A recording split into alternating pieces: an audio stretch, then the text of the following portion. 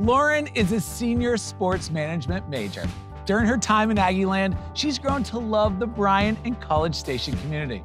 Bryan and College Station are two cities that function as one community, home to about 200,000 people. Lauren, showing us around town.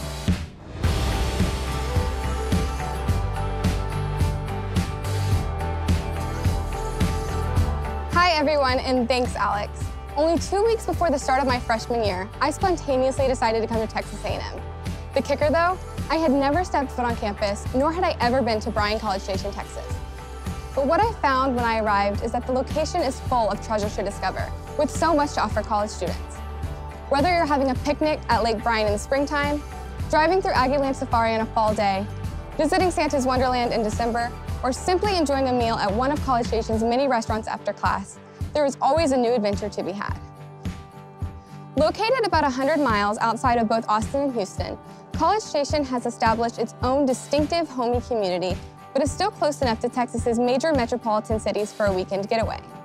As a Texas A&M student, I love spending my mornings at Aggie Park, next to Kyle Field. Tailgating, concerts, and ring day traditions take place here, which are great experiences to share with friends and family. After classes, I head across the street to Century Square to visit shops and restaurants. My recommendation is a crepe from Sweet Paris Cafe, and you can trust me.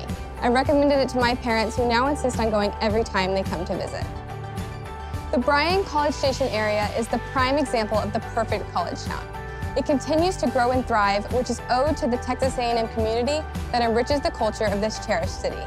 Thank you for letting me share this special location with you guys. Back to you, Alex.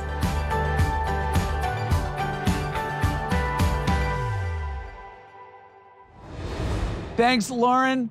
Bryan and College Station are a great place for students to explore between classes. How convenient is it to be within a two hour drive from Austin, Dallas, Houston, and San Antonio? You can spend your weekends exploring eclectic downtown Bryan, attending a professional sporting event, or singing along at ACL. That was great. Thanks again.